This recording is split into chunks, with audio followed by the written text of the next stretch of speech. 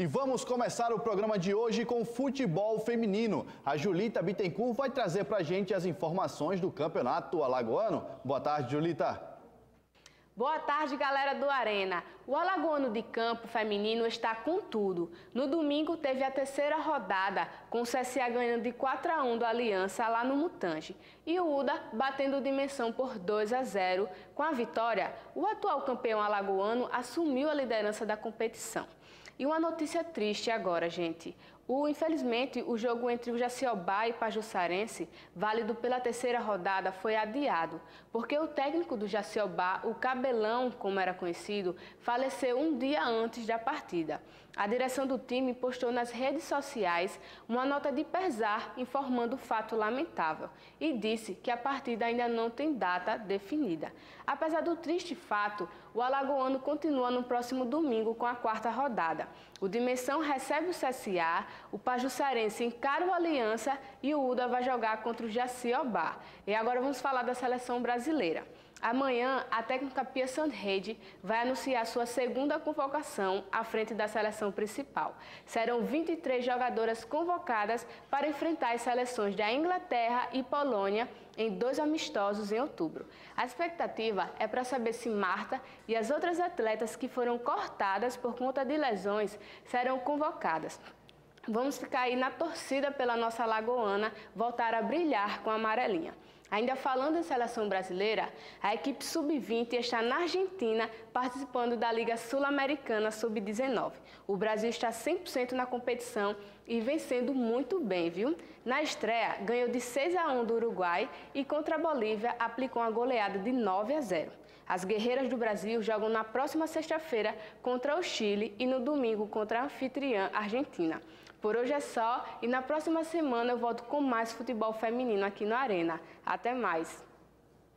Valeu, Julita! E ontem no Mutange foi dia de reapresentação. O Azulão voltou aos trabalhos e quem comandou a coletiva foi o paraguaio Bustamante, que balançou a rede pela primeira vez com a camisa do CSA no último jogo contra o São Paulo. Na reapresentação do CSA, o atacante Héctor Bustamante comemorou seu primeiro gol pelo clube, mas não aprovou o resultado do jogo contra o São Paulo. Feliz, né? Mas também um pouco triste, né? Porque a gente merecia ganhar um jogo, mas no último minuto a gente tomou um gol, mas é futebol, né? A gente tem que trabalhar agora mais na semana para encarar aquele jogo domingo que vai ser muito importante. Apesar de não ter sido um placar ruim, não foi satisfatório pela exibição do time no Morumbi. É, como falei, né, a gente fica um pouco triste no último, né, porque o, jogo estava quase fechado, né, o, jogo, o, o no último. Então é assim, cara, é, é trabalhar, é trabalhar, é, trabalhar sobre o erro, né, para não cometer o seguinte jogo e fazer o melhor o domingo, que, como falei, vai ser um jogo muito importante para a gente, que, que tem que ganhar como sempre. Dentro da Série A, o Azulão tem mostrado outra cara e tem dado trabalho a times grandes, como foi no empate contra o Cruzeiro e na vitória diante do Chapecoense.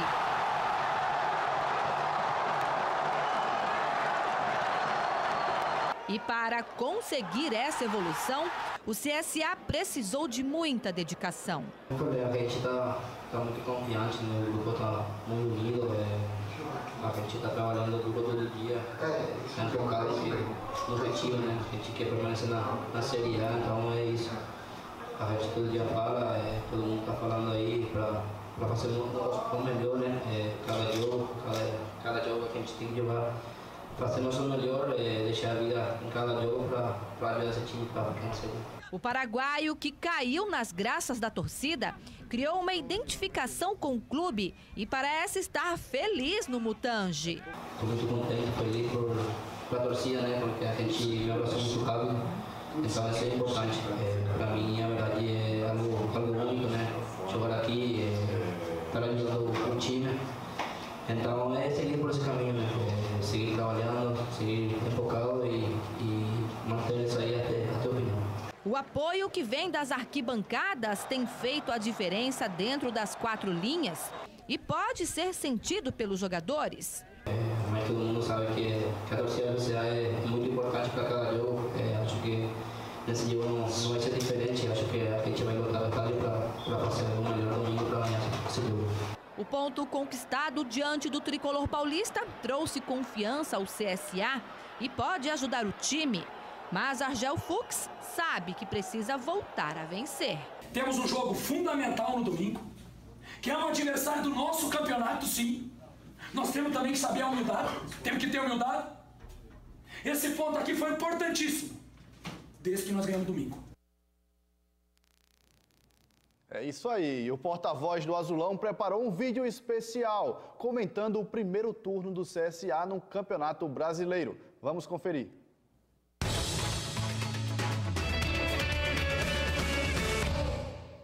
Boa tarde, galera do Arena, beleza? Aqui é o Bruno Moura do canal Espaço da Bola. Eu tô aqui para falar um pouquinho do CSA no primeiro turno desse Campeonato Brasileiro o CSA que fez o primeiro turno muito ruim até aqui, né? Foram 16 pontos apenas, estamos na 18ª colocação. O time do CSA até na Série A tem pecado também algumas contratações, contrata sempre no atacado, né? Vai lá busca três atletas para às vezes tentar um dar certo, mas parece que acertando assim de um em um, o CSA tá começando a encaixar um time. Fazendo um pequeno levantamento, o CSA dos 16 pontos conquistou a metade nos últimos cinco jogos jogos. E foram jogos em que o CSA jogou bem. Poderia até ter vencido o São Paulo nessa última partida se não fosse esse pequeno vacilo aí no, no finalzinho. Mas o CSA vem crescendo de rendimento. A próxima partida é importantíssima contra o Ceará também. E esse crescimento no rendimento do CSA pode vir a dar vários frutos agora no segundo turno. Vamos torcer muito para que o time continue crescendo de rendimento, continue melhorando. Falando de outra situação, eu falei dos dois pontos que a gente perdeu contra o São Paulo nessa última partida. Tiveram outros jogos em que o CSA desperdiçou pontos. Dois pontos contra o Santos, em que praticamente lá no finalzinho a gente poderia ter aberto o placar, não conseguimos.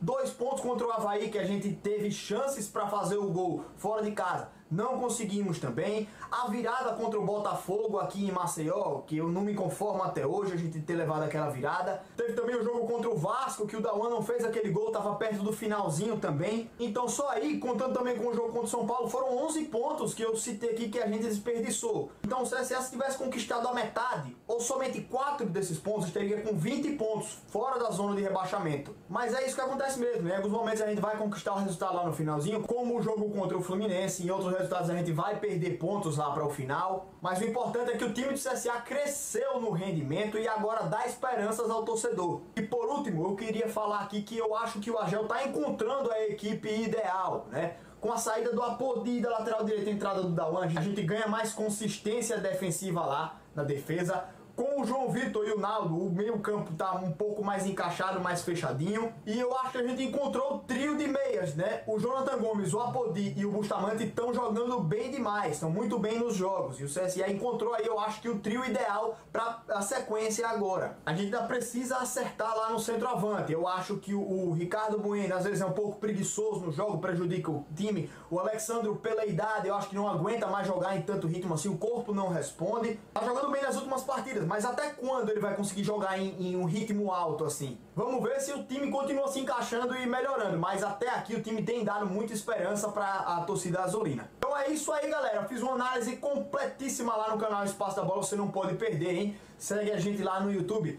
Valeu, galera. Um abraço, uma boa tarde a todos. Até mais.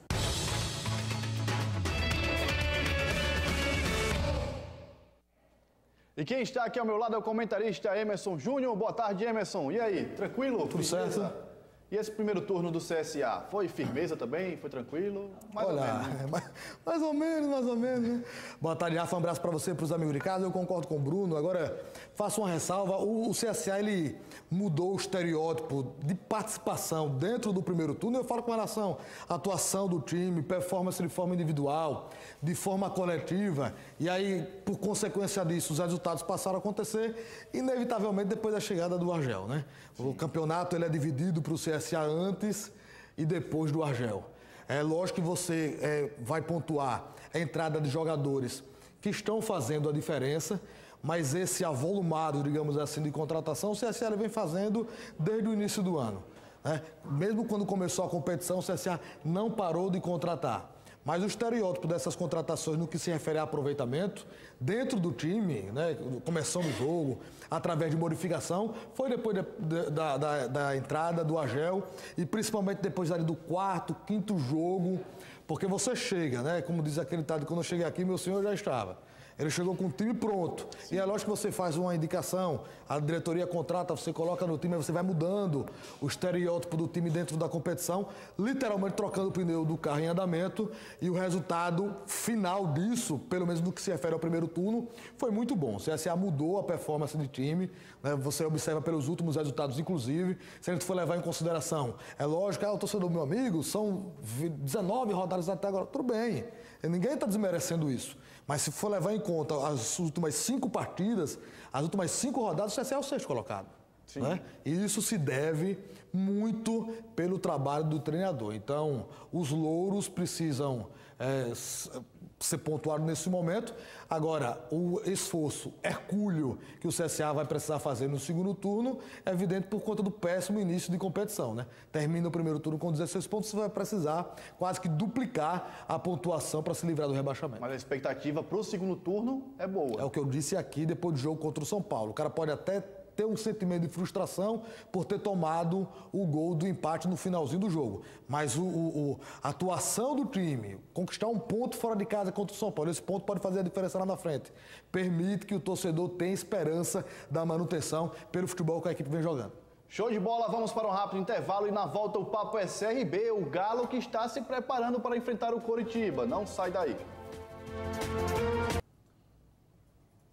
Estamos de volta e vamos ao portal op9.com.br e o destaque para o treino especial Mais um K do App Vida Saúde. O evento que já é tradicional aqui em Maceió vai ter como tema a prevenção do suicídio e da depressão, aproveitando que estamos no mês de setembro amarelo. A ação acontece neste sábado, a partir das 6 horas da manhã, e a concentração vai ser na praia da Pajuçara. O evento é gratuito, aberto a clientes, funcionários e público em geral. Para mais informações, não tem erro, op9.com.br.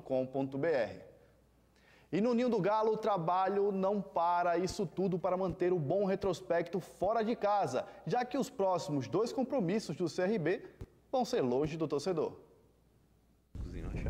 Desde a vitória sobre o Brasil de Pelotas até o jogo contra o Coritiba, o CRB terá 10 dias de trabalho para essa partida. Esse tempo será fundamental para a recuperação física e mental dos atletas. O confronto vale muito, já que as duas equipes brigam por uma posição no G4. Sábado mesmo é um clima de decisão, jogo de seis pontos, mas nós estamos bem preparados e esse final de semana foi muito válido porque conseguimos é, renovar as forças. O Coxa é o quinto colocado e tem apenas um ponto a mais que o Galo da Praia, que é o quarto.